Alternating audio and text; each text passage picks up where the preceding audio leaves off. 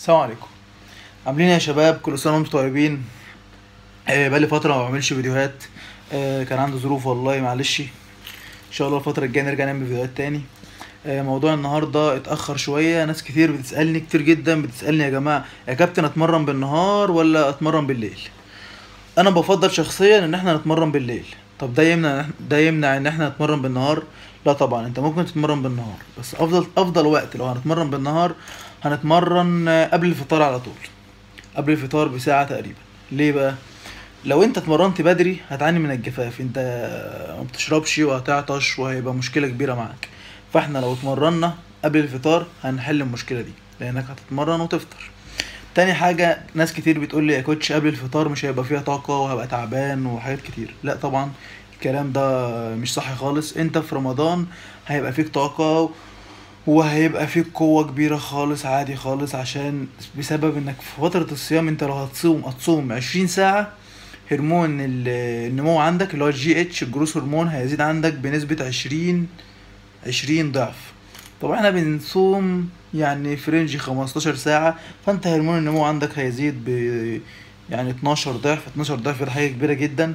ف... فأنت في الصيام كده كده هتبقى قوي. يعني هيبقى فيك قوة عادي خالص إنك تتمرن في الصيام مش تبقى ضعيف وفرفور زي ناس كتير ما بتقول.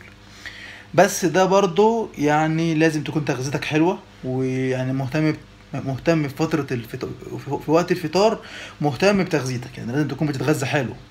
تاني حاجة برضو لازم تكون بتنام حلو عشان تعرف تتمرن بالنهار. أما بالليل بقى لو هنتمرن بالليل طبعا هنروح نفطر والدنيا جميلة خالص. ممكن نشرب القهوة بتاعتنا آه، نشرب مية براحتنا. هيبقى الموضوع بال...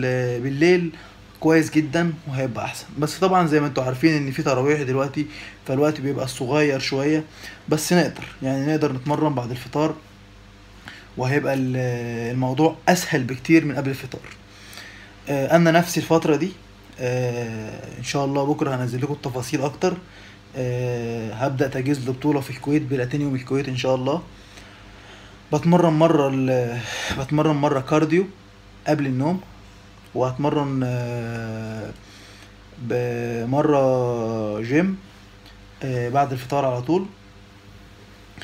آه، إن شاء الله استنوا الفيديو اللي جاي.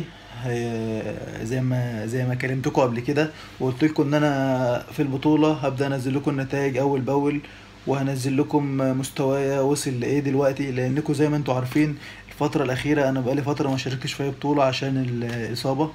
كانت عندي إصابة في رجلي وطولت شوية. إن شاء الله الفترة الجاية بقى هبدأ التجهيز. هنزل لكم فيديو في أقرب وقت أوريكم مستوايا وصلت لإيه. ونتابع مع بعض كده يوم بيوم أنا باكل إيه وبشرب إيه. آه عشان الناس برضو إيه ناس كتير بتسألني على الحاجات دي. باخد مكملات إيه. آه بتمرن إزاي نظام التمرين بتاعي. كل الحاجات دي هنتكلم فيها اللايفات الجاية. استنوني إن شاء الله قريب.